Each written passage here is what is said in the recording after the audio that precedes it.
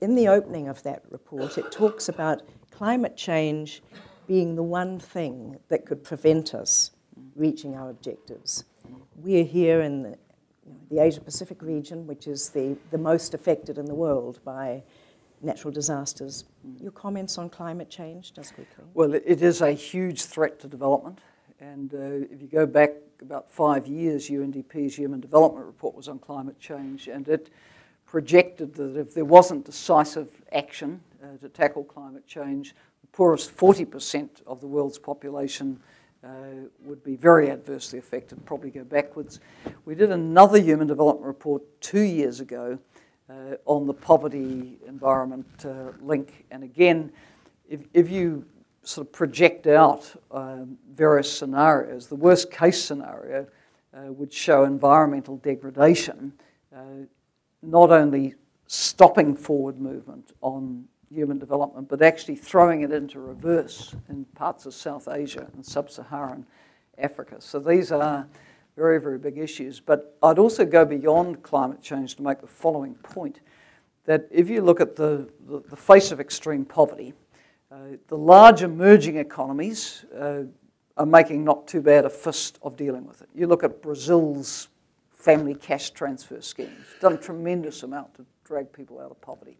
Uh, China has lifted you know, hundreds of millions of people out of poverty. It, I might say you know, the development model is also one that is very challenging for the environment, which China itself recognises and remember my last visit to China as Prime Minister, what Premier Wen put on the table in the discussions? You know, what can you do to help us to get a better balance with the environment?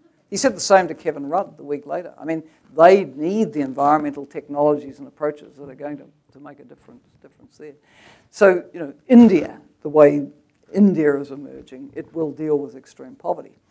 But uh, the geography of extreme poverty then comes narrows down to the group of fragile states which are still mired in war and conflict with people particularly exposed to natural disaster, the weak states, the poor governance.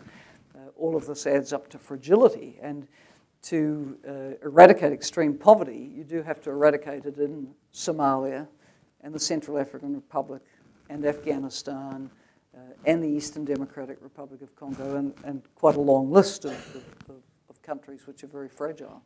So we need to be thinking about the interplay between conflict and development, disaster and, and development, weak states and development, poor governance and development, human rights and development, the rule of law and development. These things are not irrelevant. Now, you know, can the international community deal with this in a development agenda?